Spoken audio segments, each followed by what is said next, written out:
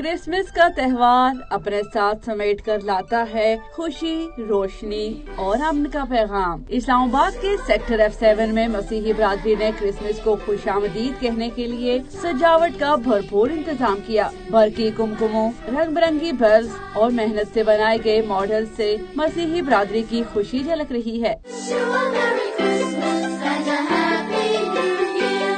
मसीही बरादरी का कहना है कि साल भर इस त्यौहार का इंतज़ार करते हैं। तैयारी भी शाया निशान लाजमी है। हर साल इसी तरह सेलिब्रेशन करते हैं क्रिसमस को। हर तरह की आज़ादी है। पाकिस्तान को खास करके बहुत क्रेडिट देते हैं। हर साल हमारी ज़िंदगी में नया क्रिसमस आता है। इसी खुशी में सारे मसीह भाई बहन सारे गली मोहल्ले को सजाते हैं। ये अच्छा लगता है हमें के लाइटें जल रही हो या मतलब ये क्रिसमस बनाए या ट्री लगाएँ घरों को सजाएँ मिल के खुशी से ये करते हैं। क्रिसमस के त्यौहार पर घर मोहल्ले और गलियाँ ही नहीं सजी बल्कि बच्चे बड़े और खातन के पहनावे भी खुशियों पर चार चाँद लगा रहे हैं। सेंटा क्लॉज और क्रिसमस ट्री के बिना क्रिसमस का त्यौहार अधूरा है।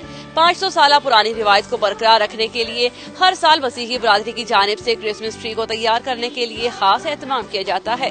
कैमरामैन अदनान अली के साथ अक्सर खुर्शीद आज न्यूज़ इस्लामाबाद।